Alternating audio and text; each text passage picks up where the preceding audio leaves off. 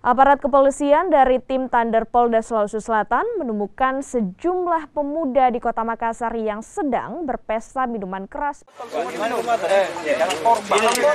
Usai menerima laporan warga, polisi langsung menuju lokasi di Jalan Pongtiku Makassar dan menemukan sejumlah pemuda sedang berpesta minuman keras di tengah penerapan PPKM Mikro di kota Makassar.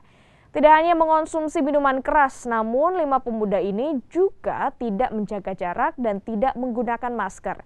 Meski tidak diberi sanksi sosial, kelima pemuda ini diberikan teguran.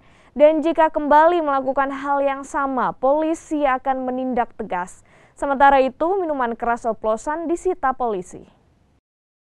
Pada malam hari ini, kami dari Unit 2, Tim Thunder, Direktur Samapta Polda Sulawesi Selatan, melaksanakan patroli Sorong Poin Tepatnya di Jalan Pontiku, kami menemukan lima orang dewasa sedang berpesta minuman keras.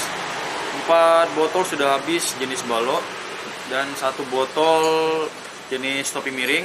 Dan kami mengimbau kepada masyarakat terutama agar tidak mengulangi perbuatannya lagi apalagi di masa pandemi ini untuk apalagi berpesta minuman keras.